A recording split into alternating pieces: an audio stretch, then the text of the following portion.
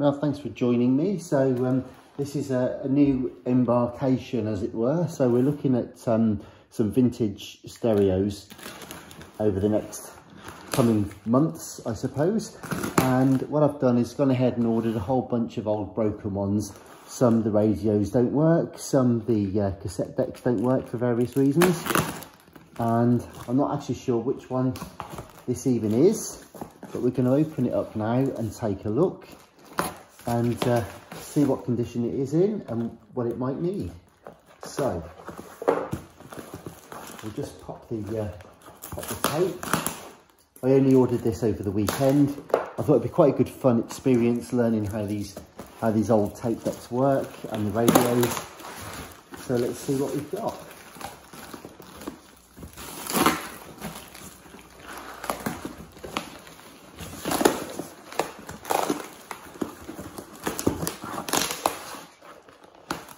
Be nicely wrapped up.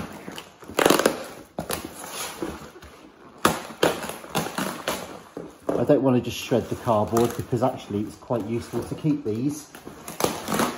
There we go. All right, so it's quite a weighty, actually it's really heavy. And uh, let's have a look.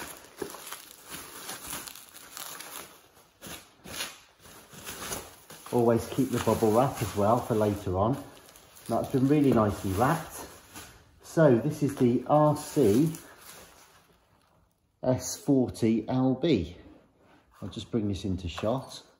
So this is literally the first time I've seen it, of course.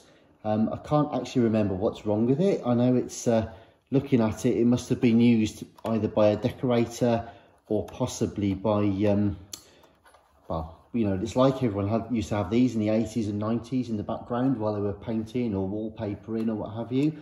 So um, there's a fair bit of paint splatters on there. Hopefully it's emulsion and, and will come off. Um, the only problem with gloss, of course, is you have to use solvents um, and you can destroy the rest of the print. But anyway, we'll see how we get on.